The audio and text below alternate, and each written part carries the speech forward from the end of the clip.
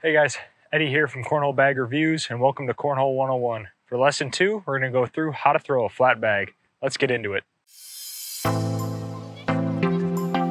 With the new generation of cornhole and all the bags having two materials, one on each side, throwing a flat bag is even more important than it's ever been.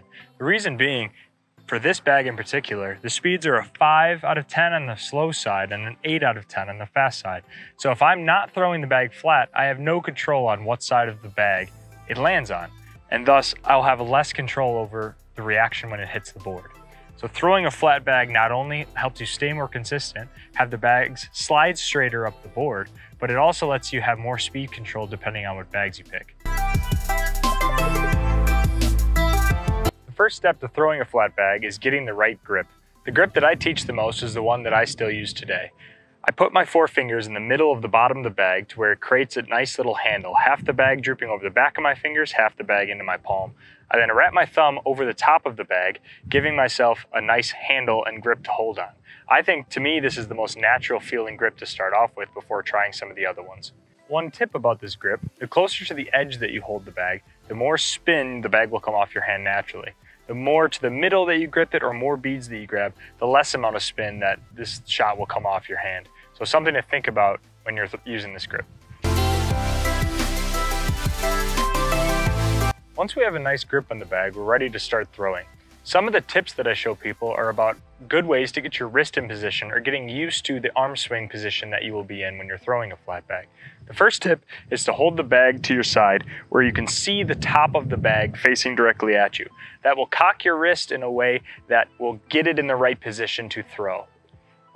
In the same vein, Another way is to hold the bag out in front of you where you can see the front of the bag. That gets your wrist in a similar position, and that's the position your wrist is going to stay in through the backswing and foreswing until we get to the release point. One last tip. If you're finding that your bag flight is flying front end down, that means you're not holding that wrist position through the finish of the throw, and your wrist is breaking and going forward. So if you need to get it tilted back a little bit more, work on that wrist angle and release height. Now that we have our hand and wrist moving the right way, we get to the end of the swing where the release point. Now this is the point where you're putting the spin on the bag and getting the bag to fly off your hand flat. All you're gonna be doing is with your wrist cocked in that position, when you get to the top of the swing, your wrist is going to unopen and have your palm facing the sky. A term that we use to get the bag even flatter is think of your pinky going above your thumb. That really forces your hand flat out in front of you. When you throw it, it should look something like this with your hand going flat to the sky and the bag coming flat off your hand. Now that we have a good grip, a good wrist position, and the right finish, then you can put it all together to throw a flat bag.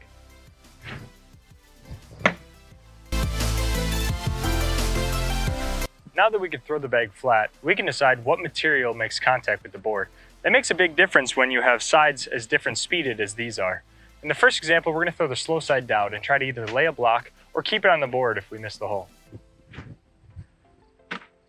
Because that material is a lot more slow and controllable, it didn't go off the back and punish us even though we missed the hole. Now with the fast side, you'd normally be using this for pushes or when the boards get really sticky. But if I accidentally used it in the wrong conditions, it can fly way too far and way too fast off the back. And in that case, even push my own bag off the back. So it makes a big difference being able to decide what material makes contact at what time, which is a big perk of throwing a flat bag. If you're using bags with two different materials or even your normal duck cloth bags, throwing the bag flat will help you be more consistent, have the bag slide straighter up the board, and give you more options when you're throwing your shots. I hope you guys enjoyed this content. If you did, please like, comment, and subscribe. Appreciate you stopping by for another video, and I'll catch you guys in the next one. Thanks, guys.